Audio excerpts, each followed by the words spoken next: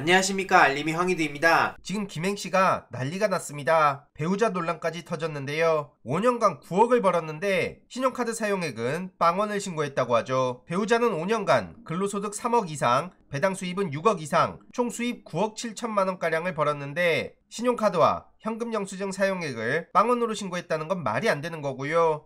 이렇게 부속 서류 중 일부가 공개됐습니다. 심지어 김행 씨가 창업한 위키트리가 청와대 대변인 당시 정부 광고 6배를 수주했다는 것도 단독으로 드러났는데요. 한마디로 김행 대변인 시절 위키트리가 그 전보다 건수로는 6배, 금액으로는 4.5배 많은 정부 광고를 수주했다고 해서 이 또한 부당한 영향력을 행사한 거 아니냐 이런 비판의 목소리가 나오고 있습니다. 이뿐만 아니라 김건희 씨와의 친분으로 진작부터 떠들썩하지 않았습니까? 이후로 해명을 한답시고 거짓말하다가 논란을 계속 키워온 바 있죠. 오죽하면 같은 당 김웅 씨도 김행은 수사 대상이다 이렇게 비판하고 나설 정도입니다. 한마디로 김건희 씨와의 친분을 부인하려다가 친분은 친분대로 발각되고 거짓말은 거짓말대로 논란되고 아주 막장이란 얘기가 나오고 있고요. 결국 논란이 계속해서 커지니 방금 전 doorstepping을 중단하겠다는 결론을 내립니다. 언론 friendly한 장관이 되겠다고 얘기하더니 갑자기 선배 타령하면서 후배들한테 말하겠다. 그러면서 doorstepping을 중단시킵니다. 이러니 네이버 댓글에서조차 대부분 비판적인 반응이고요. doorstepping은 무슨 유행이냐? 하고 싶을 때만 하고 뭔 소통이 저따위냐? 이런 반응들까지 나오고 있고요. 다음 채팅에서는 말할 것도 없죠. 거의 대부분이 비판적인 여론입니다.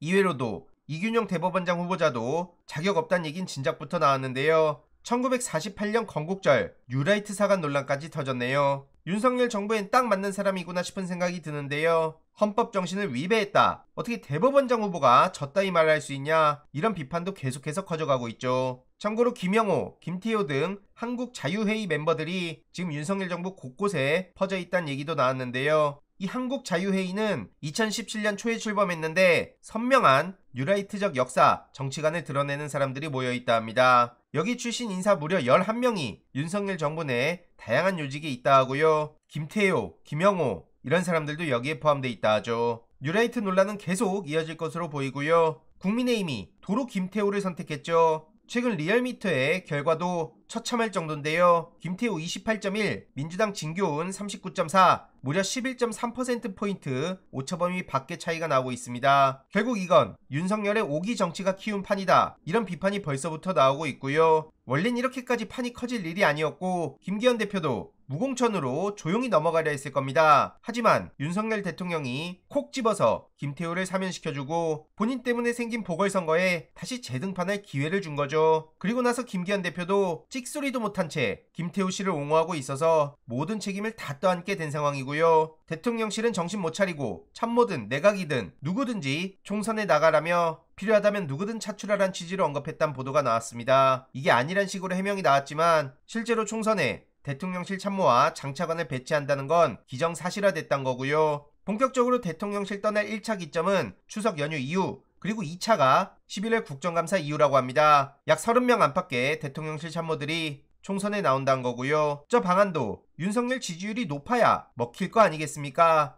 지금 지지층마저 이탈하고 있는 게 현실인데요. 부정 60% 이상은 진작부터 고착화됐죠. 이런 와중에 국민의힘은 민주당의 총리 해임 요구는 무리하다 이런 소리나 하고 있고요. 김기현 대표가 언제부터 민생을 챙겼길래 민생 현안을 논의하자는 얘기를 하고 있습니까? 아무튼 윤석열 대통령은 이재명 대표의 체포 동의안을 역시나 제가했다 하고요. 20일 본회의 보고를 거쳐서 21일 표결이 이루어질 것으로 보입니다. 결국 국민의힘과 대통령실은 병문안 언급도 없고 그냥 조롱이나 즐기고 있는 게 현실인데요. 이런 와중에 절대 가결은 있을 수 없다. 이런 목소리들이 나오고 있습니다. 저도 여기에 전적으로 공감하고요. 체포동의안 부결 청원이 58%를 넘겼습니다. 당연히 저도 참여했고요. 댓글로 링크를 고정해둘 예정이니 많은 참여와 주의 공유 부탁드리겠습니다. 이번 내용도 유익했다면 구독, 좋아요, 알림 설정, 멤버십 가입 정말 큰 힘이 된다는 점 말씀드리고 싶습니다. 주위에 널리 공유 부탁드립니다.